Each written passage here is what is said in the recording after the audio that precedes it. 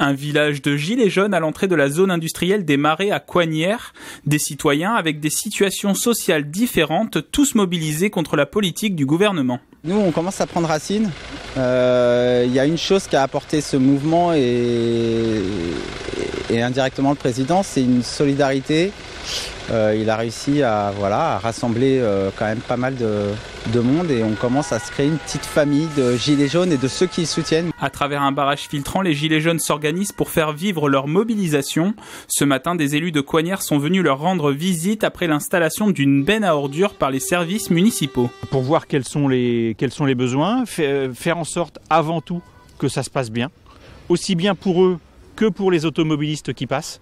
S'il y a une volonté de donner la parole aux Français, aux citoyens, par l'intermédiaire des mairies, on le fera. Enfin, ça, ça me paraît une évidence. Augmentation de 100 euros du SMIC, prime d'activité comprise, défiscalisation des heures supplémentaires ou suppression de la hausse de la CSG pour les retraites inférieures à 2000 euros.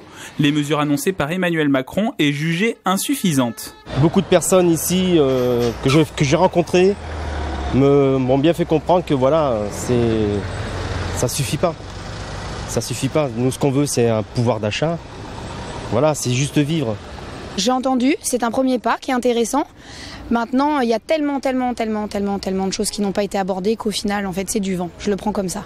C'est-à-dire que quand on, quand on est sur une intervention médicale et qu'il euh, y a une hémorragie, on met pas un pansement, on sort les gros moyens et on sauve la personne. Ces gilets jaunes ont prévenu, ils sont prêts à passer les fêtes ici en famille à l'entrée de la zone industrielle des Marais de Coignères.